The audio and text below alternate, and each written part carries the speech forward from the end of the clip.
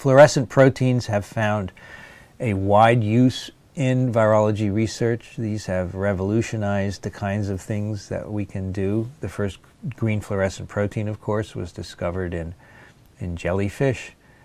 Uh, and the chair of biology of here, or the former chair of biology, as you may know, uh, received the Nobel Prize for his work on GFP in uh, C. elegans.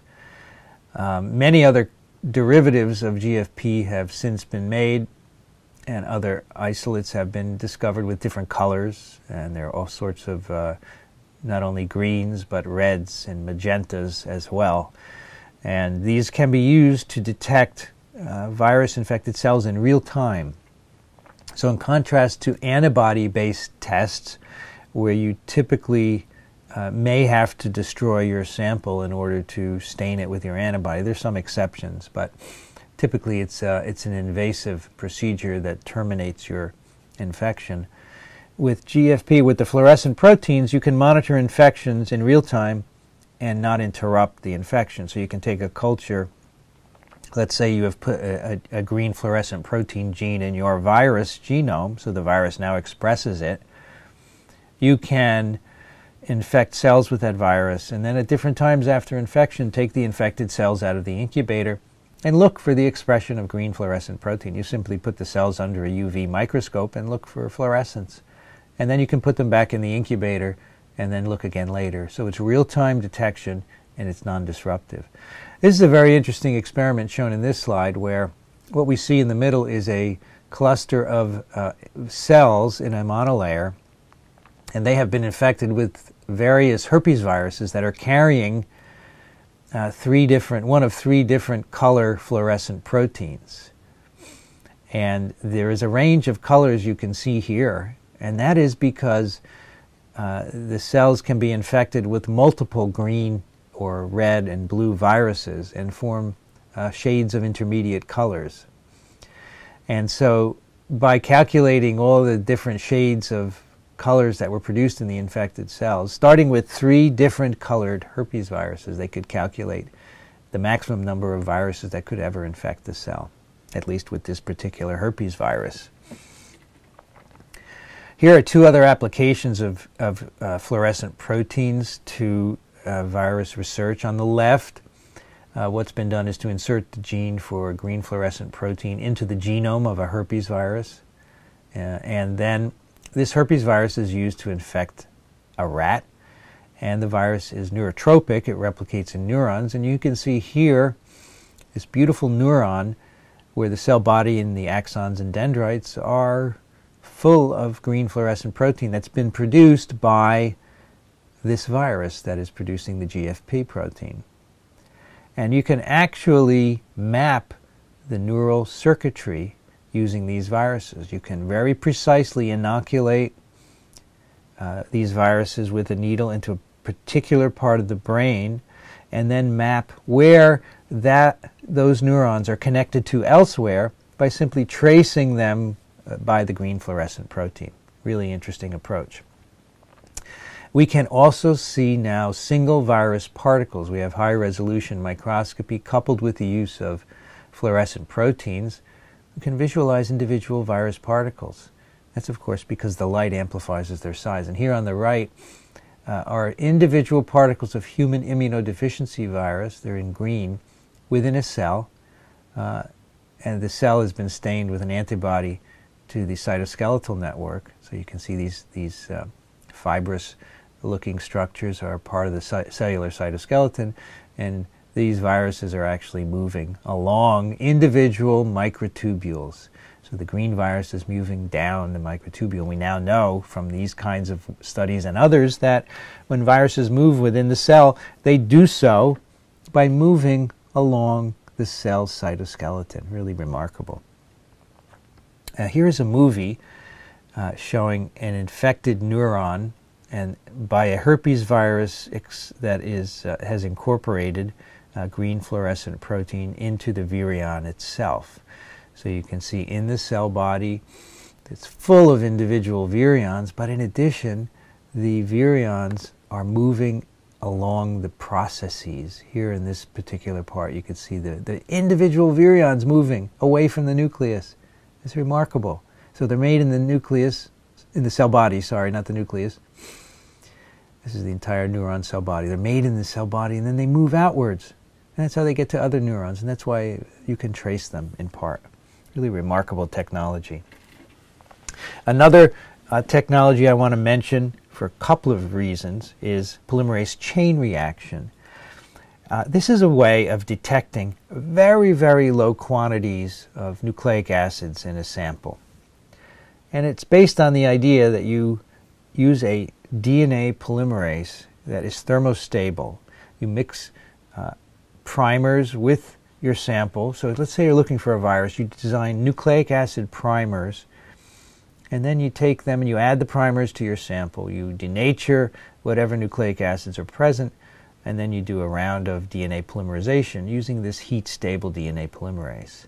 You then after the elongation, you have a product made. You then do another round of denaturation and annealing to primers again and more extension. And eventually, you get exponential growth of the product made by your two primers and that thermostable DNA polymerase. So this is a very sensitive technique that can detect small amounts of DNA and even RNA if you first convert it uh, to DNA. It's used extensively in research we use it in the lab all the time. It's used in industry to make recombinant DNA products, and it's used for diagnosis of viral infections. This is another game changer in the world of science in general, but particularly in virology and microbiology. It's allowed us to do so many things that we couldn't do before. The whole technique, PCR, its presence is really uh, based on serendipity. Back in the 1960s, a microbiologist by the name of Thomas Brock, was very interested in these hot springs that are present throughout the country, particularly in Yellowstone uh, National Park. These are very, very hot waters. They tend, they can also be uh, extreme environments in terms of pH. He isolated in the environment a bacterium called Thermus aquaticus. And he thought it would be interesting to study how this bacterium uh, could live in these extreme environments. And it turned out that the DNA polymerase from this bacterium, as you would expect, was pretty thermostable. And so in the 1980s, Kary Mullis and his colleagues thought of using that DNA polymerase for this, making this PCR uh, scheme. So you need to have a thermostable DNA polymerase because there are multiple cycles, often 30 or 40, of annealing, elongation, and denaturation. So the enzyme has to be able to withstand the denaturation step, which occurs at 95 degrees Celsius. And what better enzyme than one from a hot spring? So Tom Brock had no idea that his enzyme, his bacterium, could be could revolutionize uh, molecular biology. And it just again is another example of how, with research, you never know where your work is headed. Sometimes you think you do, but quite often you're surprised, and this is another example of surprise. Another revolution uh, that we enjoy, so we've had um, PCR as part of the revolution, um, and we have had another one here called deep high throughput sequencing. Now, we've had the ability to sequence nucleic acids, that is, determine the order of A, C, G, and T, for a while now, from the late 70s. And in fact, um, this is how we used to do it. We used to run sequencing reactions out on gels and make autoradiographs and then read them by hand. Uh, I did this as a postdoc for the poliovirus genome. It was a 7,440 nucleotide RNA molecule and I determined its nucleotide sequence. It took me one year to do that.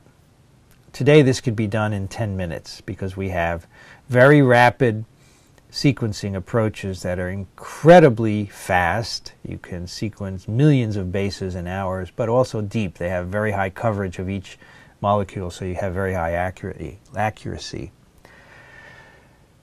Deep high throughput sequencing. So this picture is not deep high throughput sequencing. This is the, the hand stuff that I used to do years ago. Uh, nowadays, you can do much more This has introduced a whole new field of what's called metagenomics. You can take samples from the environment, you can take clinical samples, and sequence all of the nucleic acid in these samples. And you can know all the bacteria and all the viruses and what other microorganisms or other forms of life are present in them. So we can identify new viruses in environmental samples. You can get sewage and see what's, what viruses are here. You can take your gut bacteria and sequence in them and say what bacteria or what viruses are present there as well. And that's because you can sequence a lot in a very short period of time with great accuracy. You can also use this to identify new pathogens. You can take someone who has an illness, you don't know what's causing it, you can take samples from those individuals, sequence, and look for new agents. So this again, uh, I may say, say it too many times, but this has revolutionized uh, molecular biology, uh, the ability to do this.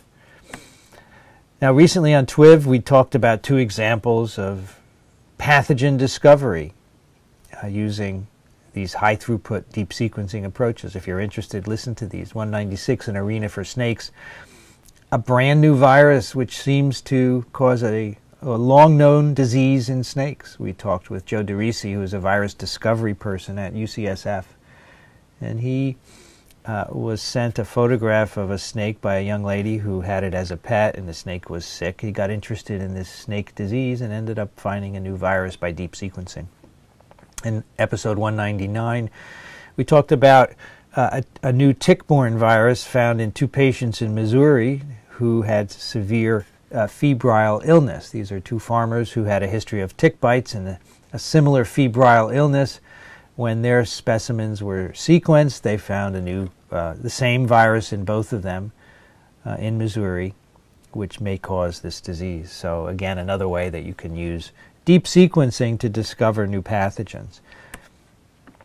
Uh, last year, uh, an article was published uh, which showed that illegally imported wildlife products that people try to bring in uh, from other countries into the U.S., for example, also often contain viral sequences. So people go to exotic places, they collect animal parts, heads and arms and so forth, such as these. They try and bring them in the country. Most of the time they are confiscated, and the CDC decided let's look in some of these to see if uh, any viruses are present. And so uh, the, the, laboratory of Ian Lipkin, another virus discoverer, uh, this time at, at Columbia University, uh, collaborated with the CDC. And they found, in fact, that many of these uh, products have viral sequences in them, viruses of all different sorts. Now, we don't know if these are infectious viruses. The work didn't report any recovery of infectious replicating viruses, but there are viral sequences which suggest that at some time or other there might have been uh, viruses infecting these animals. I mean, these are monkeys and uh, and apes of various sorts who, at one point in their lives, probably were infected by one or more viruses, as we all are.